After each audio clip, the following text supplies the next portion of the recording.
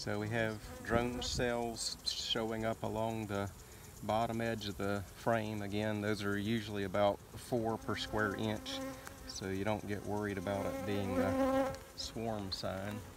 Look at the great big ones down there. Right here.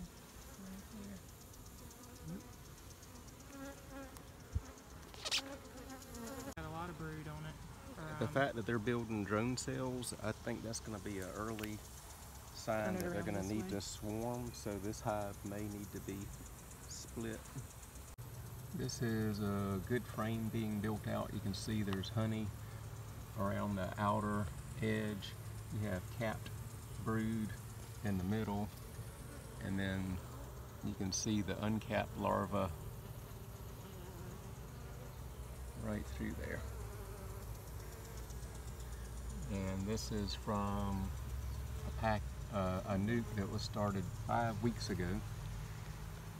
We've actually put a third box on top of this, which they're starting to draw out. This is the second layer, and this darker frame here would have been part of the original nuc frame.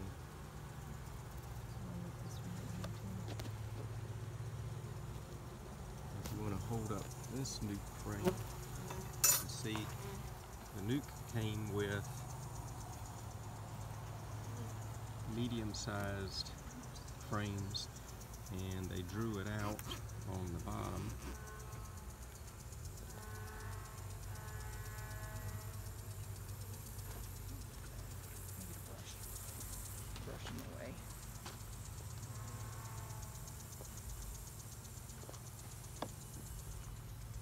See the difference.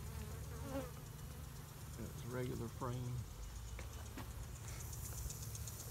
And then where that medium frame was in a large box, they drew all the way out the bottom. I'm gonna twist it. You can smell the honey in this one.